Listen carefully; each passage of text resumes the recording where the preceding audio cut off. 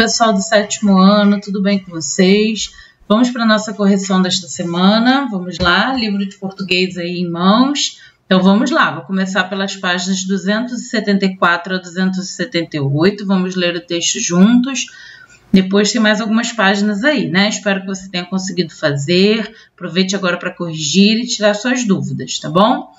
Antes de começar a ler, o artigo a seguir foi publicado num blog de opinião muito conhecido no país, o blog do Noblar, do jornalista Ricardo Noblar. Partindo de um fato do cotidiano, o autor propõe uma discussão sobre o papel dos famosos na sociedade.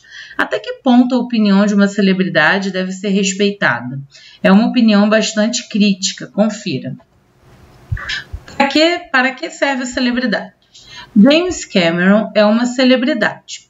Concorreu ao Oscar de melhor diretor com o filme Avatar. Como celebridade, veio ao Brasil.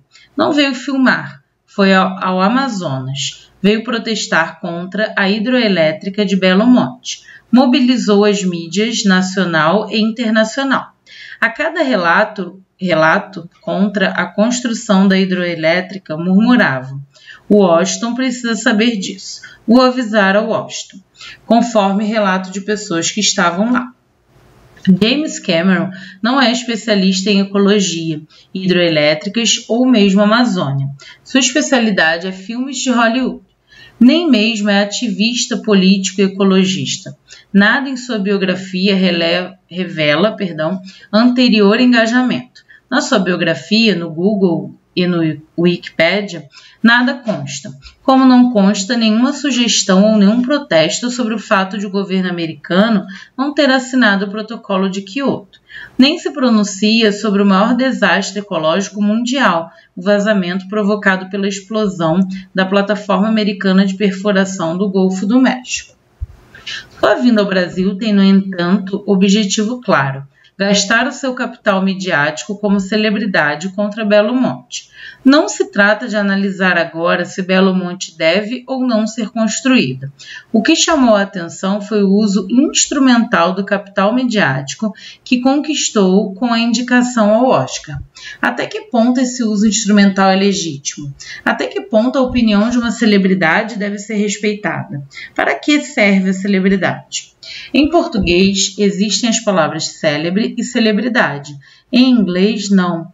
E não existe célebre, existe ou famous, famoso, ou celebrate, celebridade.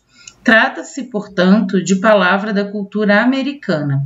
Tem pelo menos dois elementos estruturadores. Primeiro, a história da pessoa que justifica a celebridade pelo desempenho que teve fez algo que outros não fariam. Esse desempenho confere à celebridade certa autoridade, impõe respeito.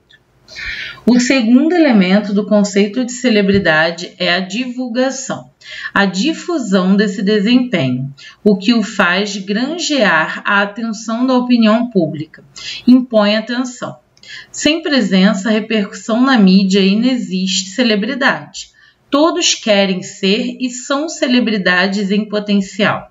Celebridades positivas ou negativas, com conteúdo ou sem, com história ou sem. Quando Zico mobiliza a juventude e cria escolinhas de futebol, ele une a celebridade que decorre da sua história e impõe respeito e atenção. Quando Kennedy usou de seus discursos, de sua estética e de sua família para defender valores democráticos que considerava básicos por sua história pessoal, impunha respeito e atenção. Quando Madonna fala sobre transgressões e sensualidade na interpretação musical, impõe também respeito e atenção. Sabe do que está falando. Mas quando Madonna vai a um restaurante, seu elogio pouco me diz da excelência do cozinheiro. Impõe somente atenção. A pergunta para que serve a celebridade tem, portanto, duas respostas. Por um lado, a celebridade serve para dar um cunho de autoridade com base na experiência uma determinada opinião, impõe respeito. Por outro, serve para pautar a mídia, influenciar e mobilizar a opinião pública em volta dessa mesma opinião, impõe atenção. Quando esses dois elementos estão juntos, temos um uso legítimo da celebridade. Quando só existe o segundo, temos um uso, se não ilegítimo, pelo menos perigoso ou apenas propagandístico da celebridade. Ninguém pode retirar de James Cameron o legítimo direito de usar-se celebridade, que é como bem aprover. É um direito de cidadania global, muito menos em defesa de causas ecológicas. Hoje, um dever da sobrevivência de todos. Mas é preciso distinguir entre pautar a mídia, chamar a atenção a uma causa que considera justa e o respeito que pode esperar de suas opiniões. Cameron defendeu que os destinos da Amazônia não são de responsabilidade do Brasil, mas de todo o mundo. Mais ainda, ontem mesmo na CNN declarou-se uma ecologista apenas pós-Avatar e defendeu que o Brasil deveria substituir Belo Monte por projetos de energia eólica ou solar. Como também ninguém pode retirar-lhe o direito de ir se queixar a Washington sobre Belo Monte. Mas não custa lembrar que a matriz energética do Brasil não dispensa re, é, e recomenda o uso de hidroelétricas, que o Brasil é um país soberano. Aliás, o primeiro dever de casa para sua boa causa seria ler o clássico artigo de Cristóvão Buarque sobre a internacionalização da Amazônia. Lembra que nós lemos, né? Bem. O uso vazio da celebridade às vezes acaba se voltando contra a celebridade, contra a própria celebridade e a causa que defende. Desinforma em vez de ajudar a informar a opinião pública. Revela que não detém o conhecimento mínimo para propor o que propõe. E legitima a si mesmo. A opinião pública não se move por atos de fé em celebridades. Há limites como dizia o jurista e diplomata brasileiro Gilberto Amado, querer ser mais do que se é é ser menos. Outro dia, um apresentador de televisão no auditório lotado de audiência magnífica perguntou a uma jovem artista de novelas da Globo o que ela achava de determinado assunto. Assunto complexo e que nada tinha a ver com sua arte de representar. Contrariando a atenção das celebridades de em tudo opinarem, ela respondeu: eu sou apenas uma artista. Minha opinião sobre este assunto não deve ter importância maior. Ok? Então vamos lá agora interpretar o texto, texto interessante, né? Uma ideia crítica aí, com uma opinião, com o uso de argumentos. Vamos compreender melhor esse texto, então, corrijam aí. Número 1. Um, por que James Cameron veio ao Brasil? Então, ele veio para protestar contra a construção da usina hidroelétrica de Belo Monte, ok? Tá bem claro aí no texto, né? Bem lá no início ele já diz. Dois, quais foram as respostas que o autor utilizou para responder à pergunta feita no título do artigo? A celebridade serve para dar um cunho de autoridade com base na experiência a uma determinada opinião, impõe respeito. A celebridade serve também para pautar a mídia, influenciar e mobilizar a opinião pública em volta dessa mesma opinião, impõe atenção. Então ele faz as perguntas e ele responde, tá bom? Para vocês perceberem isso ao longo do texto, ele responde. 3. Transcreva do segundo parágrafo do texto um argumento que o autor utiliza para desqualificar a opinião de James Cameron sobre a construção da usina hidrelétrica de Belo Monte. Vamos lá. Sugestão de resposta aí, não há só um argumento, então eu vou falar um, tá? Você pode ter colocado outro, desde que seja um argumento que fale sobre essa construção. O que eu coloquei aqui é: James Cameron não é especialista em ecologia, hidroelétricas ou mesmo Amazônia, ok? Questão 4. Segundo as ideias apresentadas no texto, a presença de James Cameron em Belo Monte impõe, né, impôs, no caso, respeito ou atenção? Então, ele diz aí, né, ele vem defendendo ao longo do texto que impôs atenção, né? Diferente de respeito aí por um especialista, né? Caso fosse. 5. No primeiro parágrafo do texto, o autor afirma que o cineasta James Cameron murmurava: Washington precisa saber disso. O que o cineasta quis dizer com essa afirmação? Qual a interpretação dessa fala? Ele quis dizer que o governo dos Estados Unidos precisava tomar conhecimento da construção da usina hidroelétrica de Belo Monte. Ok? Acertou? Muito bem. 6. Qual é a opinião de Cameron sobre os destinos da Amazônia? Também está lá no texto, né? O autor vem dizendo aí, vem, ele conta que para ele, né, para o James, os destinos da Amazônia não são de responsabilidade do Brasil, mas de todo o mundo. É a discussão aí sobre a internacionalização. 7. Na construção de nossos textos, sejam eles orais ou escritos, sempre utilizamos outros textos, textos anteriores que lemos ou ouvimos em algum lugar. Esses textos são coletados por nossa mente ao longo da vida e compõem nossa, nosso conhecimento de mundo. Essa relação entre um texto e outro é chamada de intertextualidade. Assim, quando um texto cita outro direto ou indiretamente, está fazendo uso desse recurso linguístico. No décimo parágrafo do texto, para que serve celebridade, o autor faz uso da intertextualidade para citar qual texto. Então, né, muito simples, né? Olha só, gente, a, a pergunta é gigante, né? Muita gente para aí porque não tem, né? Porque tem alguma preguiça de ler, né? Enfim, mas ele faz a intertextualidade citando qual outro texto? A Internacionalização do Mundo, de Cristóvão Buarque, que nós inclusive lemos aqui na última aula, tá bom? Simples, isso é intertextualidade, tá bom? Questão 8. O autor é contra ou a favor das ideias apresentadas no texto de Cristóvão Buarque? Com certeza a favor, né? 9. Analisando as ideias apresentadas no texto e, particularmente, o último parágrafo para o autor, como as celebridades deveriam se comportar quando perguntadas sobre algo que desconhecem. De acordo com o texto, né, com a opinião do autor, elas não deveriam opinar. Né? No último parágrafo, ele dá esse exemplo aí, inclusive. 10. Como vimos, em um texto argumentativo, os argumentos devem ser apoiados em informações Dessa forma, eles ganham força, o que dificulta a contra-argumentação. Então, não são achismos, né? Por isso, a gente precisa se manter bem informado para a construção desses argumentos. Isto é, argumentos contrários à opinião defendida, que seria a contra-argumentação. Para entender isso na prática, leia o texto abaixo e responda as questões. A usina de Belo Monte não deve ser construída porque ela não vai gerar qualquer benefício para a sociedade. Além disso, o cineasta James Cameron também é contra a construção. Se as obras continuarem, esta será a primeira usina hidroelétrica do país que não tem tecnologia para administrá-la. A. Qual é a opinião defendida pelo autor? Ele defende que a, essa usina hidrelétrica né, de Belo Monte não deve ser construída, tá? Tá bem claro aí.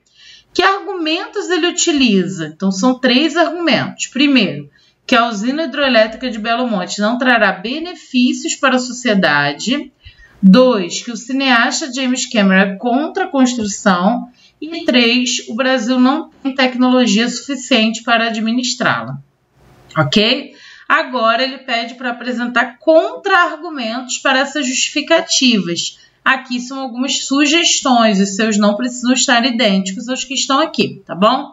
Então, primeiro contra-argumento. A usina hidroelétrica de Belo Monte trará ao menos um benefício para a sociedade, pois gerará energia. Pronto, achou aí um benefício, colocou, já contra-argumentou a primeira fala. 2. O cineasta James Cameron não é especialista no tema, por isso sua opinião não tem valor. Então também já contra-argumentou o segundo. E para finalizar, onde ele diz ali que o Brasil não tem tecnologia, ele diz que o Brasil dispõe de tecnologia suficiente para administrá-la, pois já existem várias usinas, várias usinas desse tipo em atividade no país, ok? Muito interessante, né? A construção de contra-argumentos também. Agora, ainda no livro de português, vamos para as páginas 283 a 286 Vamos ler o texto aí. É possível transformar a água do mar em água potável? É sim, isso já ocorre em vários países onde a água doce de rios, lagos e represas é escassa. Hoje, mais de 100 nações, principalmente no Oriente Médio e no norte da África, possuem usinas que retiram o cloreto de sódio, o popular sal de cozinha, da água salgada. A primeira usina de dessalinização, perdão, dessalinização foi, pessoal, surgiu em 1928 na ilha de Curaçao, no Caribe. Surgiram depois métodos mais refinados, possibilitando a instalação de mini usinas em navios que permanecem muito tempo em alto mar. Entre as novas técnicas, a mais bem sucedida é a que separa o líquido por meio de um plástico poroso que barra os sais. Na maioria dos processos, cerca de um terço da água do mar vira água potável, enquanto os dois terços restantes são descartados como salmoura, líquido com alta concentração de sais. O descarte dos resíduos é um dos grandes problemas da dessalinização. No solo, a salmoura inibe o crescimento das plantas e pode matar a vida aquática sensível ao sal se a mistura cair na água doce. O ideal é despejar o resto de volta no mar ou em lagoas de água salobra. O Brasil, mesmo sendo um dos países mais ricos em água doce, também utiliza processos de dessalinização para purificar a água de lençóis subterrâneos no Nordeste. Muito bem, retirado da revista Mundo Estranho. Vamos interpretar? Número 1, um, o texto que você acabou de ler é predominantemente argumentativo, justifique. Espero que vocês tenham percebido aí, né? Vocês tenham percebido que não, diferentemente do primeiro texto que nós estávamos lendo lá, né, sobre James Cameron, é, sobre a questão da usina. Aqui não, não é um texto argumentativo, pois não há predomínio de argumentação, mas sim de exposição. Trata-se de um artigo de divulgação científica, ok? 2. O que é o processo de dessalinização? O que, que significa isso, né? Ele explica também no texto, é retirada do cloreto de sódio, que é o sal de cozinha, retira-se esse sal né, da água do mar. É esse processo. 3. Conforme as informações presentes no texto, analise as afirmações abaixo, sendo verdadeiro ou falso.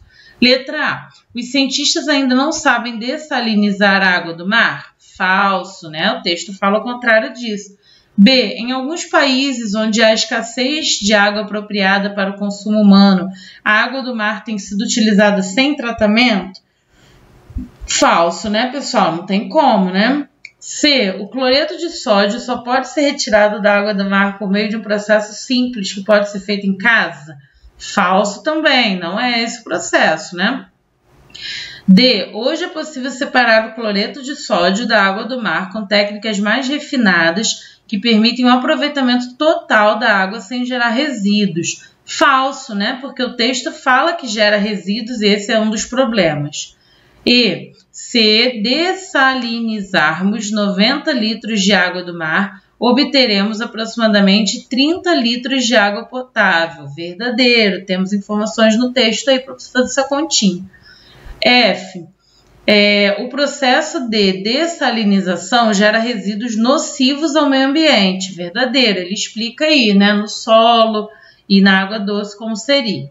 G. No Brasil ainda não foram empregadas técnicas de dessalinização. Falso. Ok? Acertou? Muito bem. 4. O texto informa que o Brasil é um país onde. Resposta letra A. Espero que você tenha acertado, né? Existe grande quantidade de água doce. O texto afirma isso, é só você procurar lá. 5 é a que separa o líquido por meio de um plástico poroso que barra os sais. Está lá no segundo parágrafo. No plural, o segmento sublinhado será corretamente letra E. Uns plásticos porosos que barram os sais. Observe aí a concordância verbal, tá bom?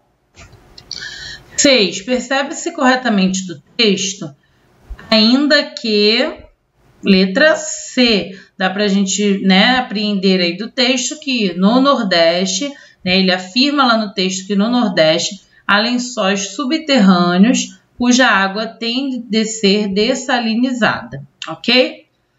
7. De acordo com o texto, o processo de dessalinização da água teve início, letra B, né, numa ilha do Caribe. Ele fala isso bem lá no início do texto. Questão 8. Um dos grandes problemas da dessalinização da água a que o texto se refere está na Letra A, possibilidade de esse processo provocar o desequilíbrio do meio ambiente, certo? Ele explica, né, no texto o porquê disso. 9. Agora vamos lá para a parte gramatical. Fiquem bem atentos a isso aqui, bem importante para avaliação também, para a atividade que vocês vão fazer, tá bom?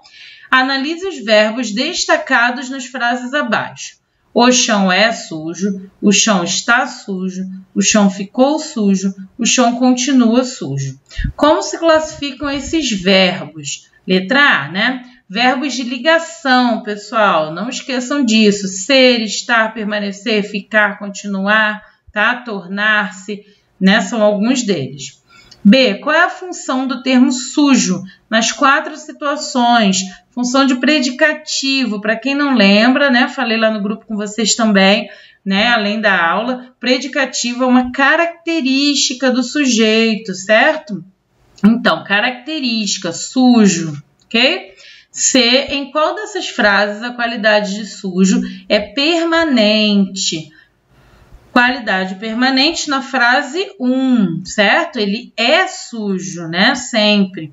Em qual dessas frases a qualidade de sujo é persistente? Na 4, ele continua sujo, ok? Bem legal, né? Essa interpretação aí, junto com a parte gramatical. 10, vamos lá, também importante, transitividade. Quanto à transitividade, como se classificam os verbos? Transformar, que está lá no título, e retirar, né? Então, bitransitivos são os verbos que possuem dupla transitividade, ou seja, eles têm a função de transitivo direto, que exige um complemento sem preposição, e também transitivo indireto, que exige um complemento com preposição, lembra? Então, eles vão ser bitransitivos, também chamados de transitivo direto e indireto, e terão dois complementos, um sem e o outro com preposição tá bom? Então, eles são bitransitivos. Questão 11, releia o trecho. O descarte dos resíduos é um dos grandes problemas da dessalinização. No solo, a salmoura inibe o crescimento das plantas e pode matar a vida aquática sensível ao sal, se a mistura cair na água doce. O ideal é despejar o resto de volta no mar ou em lagoas de água salobra. Letra A a palavra problemas exerce a função de núcleo do predicativo. Explique. Quando falar de predicativo é característica, tá? Qualidade. Então vamos lá. A palavra problemas qualifica o termo descarte dos resíduos por meio de um verbo de ligação. Por isso tem essa função de núcleo do predicativo, ok? Deu para compreender? Muito simples, né? E a letra B, qual a função sintática do termo destacado? Objeto direto. Vamos fazer a pergunta lá para o verbo. Inibe o quê? O crescimento das plantas, ok? Sem o uso da preposição aí diretamente após o verbo, tá bom? Muito bem. Essa foi nossa correção, tá? Sigam se cuidando. Um grande beijo a todos vocês.